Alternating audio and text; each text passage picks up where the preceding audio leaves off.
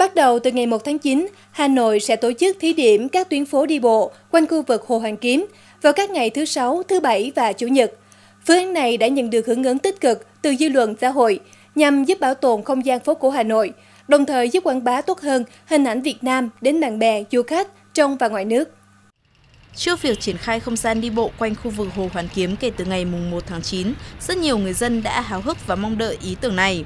Bởi nhiều người cho rằng những tuyến phố đi bộ này sẽ đem đến một Hà Nội thanh bình, trong lành và không khói bụi trong mắt du khách, bạn bè trong nước và quốc tế. Tôi rất là mong sẽ có thật nhiều tuyến phố đi bộ như này để giúp mọi người có thể mọi người đi bộ với nhau ấy cũng có thể nói chuyện với nhau rồi trao đổi nhiều thứ như công việc ừ, hàng ngày rồi học tập ừ, cuộc sống. À, thực ra thì tôi đến với Hồ Gươm thì cũng được hai ba lần rồi và mỗi lần mà đi ở quanh Hồ Gươm thì tôi cảm thấy là tôi rất sợ cái con đường vì xe chạy rất là nhanh thành ra nếu mà có mở rộng thêm được ừ, những tuyến phố đi bộ nữa thì tôi nghĩ nó sẽ rất là tốt cho khách uh, du lịch. Ủy ban Nhân dân thành phố Hà Nội sẽ tổ chức không gian đi bộ trên 15 tuyến đường quanh khu vực bờ hồ. Bên cạnh đó, Sở Giao thông Vận tải cũng đã bố trí khu vực trông giữ xe để phục vụ tốt nhất nhu cầu của người dân. Cụ thể có 78 điểm đỗ để trông giữ ô tô, xe máy, xe đạp với diện tích trên 17.000 m2.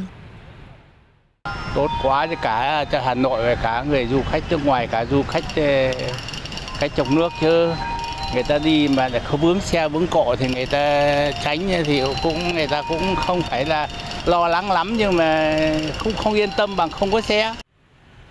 Hiện trên thế giới có rất nhiều mô hình phố đi bộ đã đem lại hiệu quả trong việc phát triển kinh tế du lịch, nâng cao đời sống, tạo thêm việc làm và từng bước bảo tồn bản sắc văn hóa của chính đất nước đó.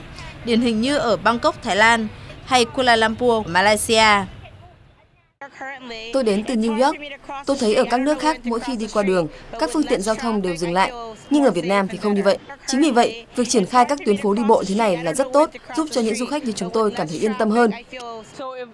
Tôi có cả một gia đình lớn và việc phải băng qua đường với nhiều xe cộ cũng làm tôi cảm thấy không yên tâm. Chính vì vậy, việc triển khai không gian đi bộ quanh khu vực này tôi thấy hợp lý để chúng tôi có thời gian cảm nhận và tìm hiểu về văn hóa Việt Nam. Việc Hà Nội mở rộng không gian đi bộ được cho là chủ trương đúng đắn nhằm góp phần giới thiệu không gian văn hóa, kiến trúc khu phố cổ, nhất là văn hóa ẩm thực đặc trưng Hà Thành đến với bạn bè thế giới, từ đó kích cầu phát triển thương mại và du lịch. Liên quan đến các đường dây tội phạm thì số tiền trên sẽ được chuyển trả lại. Sở Bị Bắt